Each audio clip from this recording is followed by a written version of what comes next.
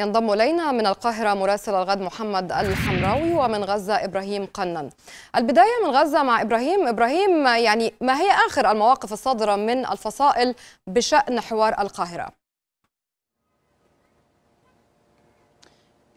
بالتأكيد يعني الفصائل الفلسطينية تنظر إلى هذه الحوارات بشكل جدي وبشكل هام جدا، الفصائل الفلسطينية كانت أيضا عندما جاء اللواء عمر عباس كامل إلى قطاع غزة في جولها الأخيرة طلبت أن يكون هناك حوارات فلسطينية لبحث الملف الفلسطيني بشمولية وبشكل كبير جدا، هذه الحوارات ستكون حوارات مهمة. كونها ستبحث في عدد من الملفات الهامة والملفات الحيوية التي تهم القضية الفلسطينية والشعب الفلسطيني خاصة في ملف تثبيت التهدئة وملف الإعمار وملف المصالحة وأيضا تشكيل حكومة وحدة وطنية أو يعني أي شكل يعني أي حكومة يتم الاتفاق عليها خلال هذه الحوارات. بالإضافة إلى يعني سيكون هناك مشاورات فيما يتعلق بإمكانية عقد صفقة جديدة لتبادل الأسرى بين الفصائل الفلسطينية وإسرائيل تحديدا بين حركة حماس وإسرائيل. بالإضافة إلى يعني ملفات يعني ذات شأن اتفاق على رؤية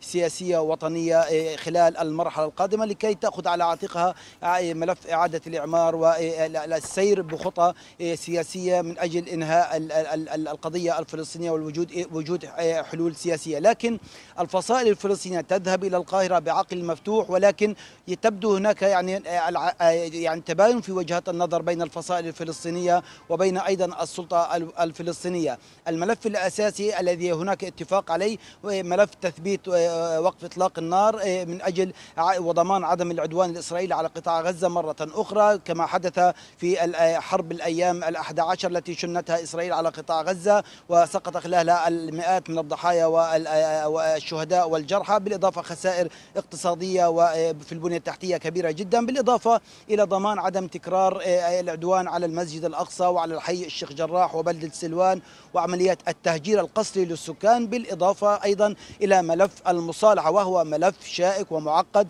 منذ سنوات طويلة مصر تبذل جهود كبيرة جدا مع حركتي فتح وحماس والفصائل الفلسطينية من أجل الوصول إلى هذا الاتفاق. المصالحة ينهي حالة الانقسام ويتم الاتفاق على حكومة وحدة وطنية لكن هناك يعني عراقيل دائما توجد أمام الجهود المصرية وبالتالي هذا الملف معقد وشائك. أيضا هناك الفصائل الفلسطينية تريد الاتفاق على برنامج سياسي ووطني من أجل مواجهه التحديات والمخاطر التي تفرضها إسرائيل على الشعب الفلسطيني، الفصائل تقول أن هذا الملف يجب أن يبدأ من إعادة بناء منظمة التحرير الفلسطينية وتشكيل مجلس وطني جديد وأيضا تشكيل مجلس مركزي، وهذه يبدو إنه من الصعب في الوقت الحالي حدوث ذلك. لعده تعقيدات سياسية بين الفصائل الفلسطينية وبين أيضا السلطة نعم. الوطنية الفلسطينية والأحداث الميدانية. ربما يعني بالإضافة إلى أن هناك ملف آخر هو صفقة إمكانية عقد صفقه للتبادل الأسرى بين